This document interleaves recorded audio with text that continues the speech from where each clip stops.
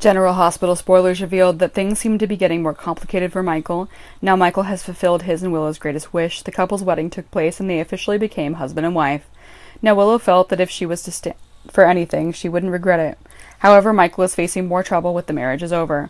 Carly was arrested by the police for insider trading violations. It looks like Carly will have to spend a long time in prison if he and the others can't think of a way to save her. Besides, Dex and Michael's plan to save Sonny is progressing well. Dex, after lying next to Sonny, finally grasps important evidence that Sonny cooperated with Pikeman to sell illegal explosives. In the end, will Michael have to deal with all of this? Meanwhile, Chase is eager to go to Greenland to help people, but is rejected by Jordan. The reason Chase was so anxious was because he was very worried about the safety of the hostages in Victor's hands.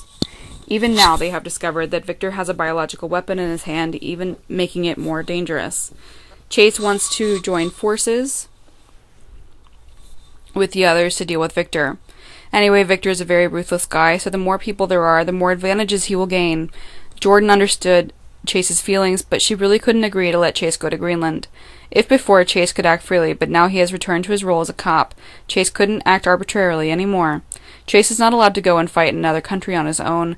That party will have their own police in charge, and if Chase ignores Jordan's advice to stop him, he will certainly be disciplined. In another development, Curtis is taking steps to get the hostages out of Victor's lair.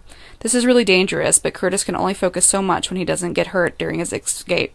Curtis has met Trina and he wants to get his daughter out first, but Trina couldn't leave the unconscious Spencer in this dangerous place. She tried to get Spencer to wake up and quickly get out of there with her. Of course, they will also bring baby Ace with them. Curtis's rescue is clearly made much more difficult when there are so many people present.